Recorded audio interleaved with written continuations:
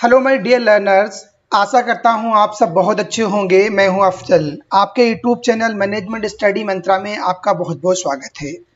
दोस्तों, इस वीडियो में हम डिस्कस करेंगे four S of marketing four S of marketing mix क्या है? इनको हम डिस्कस करेंगे। तो ये एक छोटा सा कंसेप्ट है, पर बहुत ही इंपॉर्टेंट कंसेप्ट है। अगर आप मार्केटिंग को अंडरस्टैंड करना चाहते हैं, अगर मार्केटिंग को अच्छे से आप पढ़ना चाहते हैं तो फोर एस ऑफ़ मार्केटिंग के रिगार्डिंग आपको क्लियर होना चाहिए कि पूरी जो बेसिकली मार्केटिंग है, वो four Ps four Cs or four As or seven Ps of marketing पे ही घूमती है। तो इससे पहले अगर आपको फोर एस ऑफ़ मार्केटिंग समझना है तो उससे पहले आपको फोर पीस ऑफ़ मार्केटिंग को जानना पड़ेगा और उसके बाद जो कंसेप्ट आया था फोर सीज ऑफ़ मार्केटिंग इनको जानना पड़ेगा। तो अच्छे से आप फोर एज ऑफ़ मार्केटिंग को रिलेट कर पाएँगे। तो अगर अभी तक आपने फोर एज के बारे में नहीं वीडियो नहीं देखी है, या फोर सीज के बारे में वीडियो नहीं देखी है तो आप प्ले में जाइए। वहाँ से आप उन वीडियोस को देख सकते हैं। तो अच्छे से आप फोर एस से एस ऑफ़ मार्केटिंग से कनेक्ट कर सकते हैं। क्योंकि इसको फोर एस मार्केटिंग को डिस्कस करने से पहले थोड़ा हम एक रिकैप करते हैं फोर पीस के रिगार्डिंग और फोर सीज के रिगार्डिंग राइट उनका ओवरव्यू लेते हैं। जैसे फोर एस में क्या है, यहाँ पे एक्सेप्टेबिलिटी है, आपकी एफोर्डेबिलिटी है और एक्सेसिबिलिटी है अवेयरनेस है। चार इंपॉर्टेंट एलिमेंट्स हैं। जैसे हम बात करते हैं, जो कंसेप्ट आया था ज़ीरो में ने दिया था, फोर पीस ऑफ़ मार्केटिंग तो वहाँ पे क्या था, वहाँ पर प्रोडक्ट था प्राइस प्लेस एंड प्रमोशन था। उसके बाद रॉबर्ट लोटरवन लोटरवन ने कंसेप्ट दिया था फोर सीज का। तो वहाँ पे कस्टमर था और उसके बाद कॉस्ट थी कन्वीनियंस एंड कम्युनिकेशन था। तो ये मार्केटिंग भाई सबसे पहले स्टार्टिंग में 1960 के around four Ps of marketing आया था जो Jerome McCarthy and Booms and Bitner के द्वारा दिया गया था। पर उसके बाद फोर चीज़ ऑफ़ मार्केटिंग लाने की रिक्वायरमेंट क्यों बनी?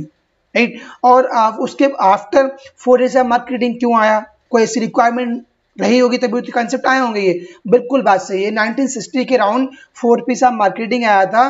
तो वो बेसिकली क्या था? वो एक सेलर सेंटर्ड अप्रोच थी एक सेलर सेंटर्ड फ्रेमवर्क था जो बेसिकली सेलर के पॉइंट ऑफ़ व्यू से बनाया गया था पर जब मार्केट में कंपटीशन बढ़ा मार्केट में uh, जो थिंकिंग थी कस्टमर्स की वो चेंज हो गई उनका जो टेस्ट था वो चेंज हो गया उनका प्रेफरेंस चेंज हो गया तो उसके अकॉर्डिंग उसमें एडिशन करा गया उसका अपग्रेड वर्जन आया जो four Cs of four Cs of marketing आया राइट बट देखा कि वो फोर्स मार्केट 1980 के अराउंड आया था, पर उसके बाद भी, भाई टाइम है राइट हमेशा बदल रहा है, चीज़ें बदल रही हैं हर कस्टमर बदल रहा है कॉस्ट बदल रही है रिच रिचेबिलिटी बदल रही है प्रमोशन के तरीके बदल रहे हैं तो उसके बाद मार्केट में four S four S of marketing आया।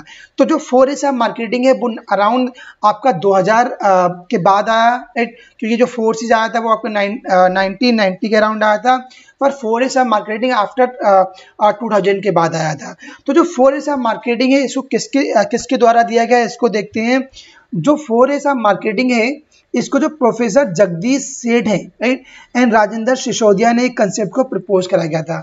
तो आपको ऑथर्स के बारे में पता होना चाहिए क्योंकि इंडियन ऑथर हैं राइट जगदीश सेठ एंड राजेंद्र सिसोदिया। इनका आपको नाम ध्यान रखना है कि डायरेक्टली क्वेश्चन वो पूछ सकते हैं कि ये कंसेप्ट किसके द्वारा दिया गया है।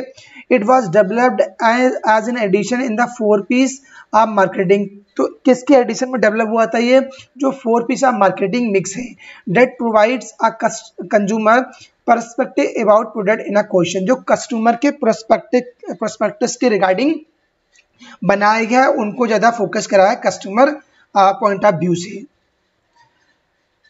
अब इसमें ऑलरेडी चार बहुत इंपॉर्टेंट एलिमेंट्स हैं। इन्हीं एलिमेंट्स को हम वन बाय वन डिस्कस करेंगे। सबसे पहले यहाँ पर आता है acceptability in four As of marketing जो एक्सेप्टेबिलिटी है एक इंपॉर्टेंट कंपोनेंट्स है। एक्सेप्टेबिलिटी बेसिकली क्या होता है? Acceptability is an essential factor ये बहुत ही एसेंशियल फैक्टर है with when it comes to marketing your product right for your product to be successful, it must must be accepted by your consumers. Therefore, acceptance is an a crucial factor to consider when creating and marketing strategy for your product right several factors can impact the success of your uh, products including quality of products itself the pri price of the products and how easy the products is in use there are two types of approach aspect which are functionally acceptability and psychological acceptability अब इसको हम general भाषा में समझते हैं कि acceptability क्या है एक्सेप्टेबिलिटी बेसिकली आपका प्रोडक्ट्स के रिगार्डिंग उससे रिलेट करता है प्रोडक्ट्स के रिगार्डिंग जो आपका प्रोडक्ट्स हैं, जो आपकी सर्विसेज़ हैं, जो आपके गुड्स हैं, वो मार्केट में कितने एक्सेप्टेबल है? कस्टमर उसको एक्सेप्ट कर रहा है, नहीं कर रहा है? अब कस्टमर क्यों आपका एक्सेप्ट करेगा कि अगर प्रोडक्ट्स की क्वालिटी क्या है? प्रोडक्ट्स की पैकेजिंग क्या है? जो प्रोडक्ट्स की लेबलिंग क्या है? उसका जो प्रोडक्ट्स आपने बनाया है, वो कस्टमर्स की जो नीड्स हैं, जो कस्टमर्स की डिज़ायर है, उनको आपने फुलफिल करने के लिए अगर बनाया है तो डेफिनेटली मार्केट में आपके प्रोडक्ट्स की एक्सेप्टेबिलिटी होगी। तो आपको अगर अपना प्रोडक्ट्स डिज़ाइन करना है, अपने आपको सर्विस को प्रोवाइड करना है, या आपको गुड्स को डिज़ाइन करना है तो पहले आप कस्टमर की जो नीड्स हैं, उनकी जो डिज़ाइन है, उनको आप आइडेंटिफाई करेंगे। आइडेंटिफाई करने के उन्हीं को, उनके अकॉर्डिंग राइट उनकी जो नीड्स हैं, उनको फुलफिल करने के लिए आप प्रोडक्ट्स बनाएँगे, ताकि आपका एक ही मोटो रहेगा कि कस्टमर सेटिस्फेक्शन किस प्रकार होना चाहिए राइट तो एक्सेप्टेबिलिटी किस प्रकार हो सकती है? आपकी फंक्शनल एक्सेप्टेबिलिटी हो सकती है या आपकी साइकोलॉजिकल uh, एक्सेप्टेबिलिटी हो सकती है राइट अब फंक्शनल एक्सेप्टेबिलिटी क्या है? कि जो आपने प्रोडक्ट्स बनाया राइट तो वो फंक्शनली जो कस्टमर्स uh, की नीड फुलफिल कर रहा है नहीं कर रहा लेट सपोज़ आप एग्जांपल ले सकते हैं ऑटोमोबाइल का। कोई एक कार है राइट अब कार आपने मैन्युफैक्चर uh, कर दी राइट तो जो कार है वो एक फंक्शनली जो कस्टमर्स की रिक्वायरमेंट है राइट उसको फंक्शनली फुलफिल कर रही है या नहीं कर रही तो वो आपकी एक्सेप्टेबिलिटी कह जाएगी। अब साइकोलॉजिकल एक्सेप्टेबिलिटी क्या होगी कि जो कस्टमर साइकोलॉजिकल इतना uh, इतना एक्सेप्ट करने लिए रेडी है नहीं क्योंकि भाई कस्टमर का अलग अलग कस्टमर होते हैं। एक रिच कस्टमर है एक मिडिल लेवल कस्टमर है एक हाई एक सुपीरियर प्रीमियर कस्टमर होते हैं तो उनको भी आपको देख के प्रोडक्ट्स बनाना है। तो साइकोलॉजिकल एक्सेप्टेबिलिटी यही होती है कि अगर आपका फंक्शनली तो कार आपकी ठीक है, पर आपका साइकोलॉजिकल वो आप जैसे आप किसी फ़िल्म स्टार को ले सकते हो, या किसी सेलिब्रिटी को आप ले सकते हो तो उन्होंने वो चीप कार परचेज नहीं कर सकते अगर वो परचेज करना है तो कर सकते हैं, क्योंकि फंक्शनली तो सेम है, वो भी ड्राइव करेगी, वो भी आपको जहाँ जहाँ वहाँ जाएगी। पर साइकोलॉजिकली वो एक्सेप्टेबिलिटी नहीं है, क्योंकि उनको अपनी इमेज के अकॉर्डिंग अपनी life of standard living of standard के अकॉर्डिंग राइट अपनी रेपुटेशन के अकॉर्डिंग उनको वो सेटिस्फाई नहीं कर रही है। तो साइकोलॉजिकल बेसिकली एक्सेप्टेबिलिटी यही होती है कि जो पर्सन है, जो कस्टमर्स हैं, वो उनकी साइकोलॉजिकली नीड फुलफिल हो रही है, नहीं हो रही है। सेकेंड एलिमेंट आता है इसमें एफोर्डेबिलिटी एफोर्डेबिलिटी नाम से क्लियर होगा कि ऐसा प्रोडक्ट्स ऐसी सर्विसेज़ जो मार्केट में आपकी एफोर्डेबल है या नहीं है, और रीजनेबल है या नहीं है। अब ये किससे रिलेट करेगा? ये आपका रिलेट करेगा बेसिकली प्राइस से रिलेट करेगा राइट कि आपने जो प्रोडक्ट्स बनाया, जो आप सर्विस दे रहे हो, उसका एक प्राइस रिजनेबल है या नहीं?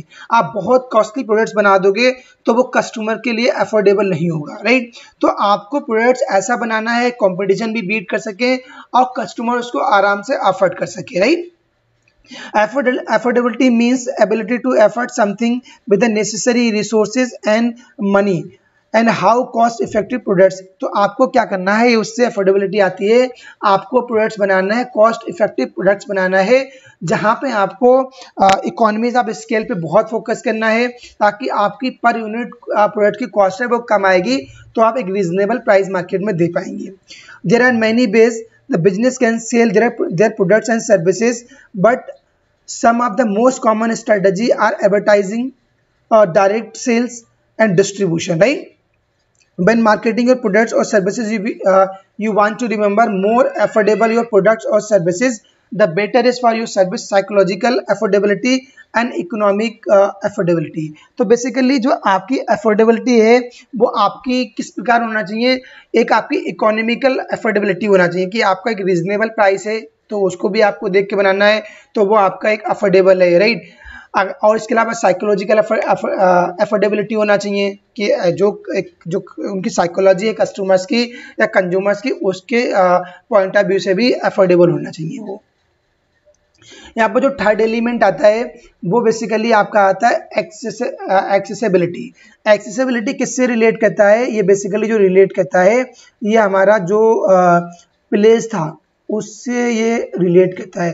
एक्सेसिबिलिटी या आपकी अवेलेबिलिटी एक्सेसिबिलिटी माने एक रीच होती है कि आप जहाँ पे एक्सेस करना चाहते हैं, पहुँचना चाहते हैं, आप उस प्लेस की रिगार्डिंग होती है।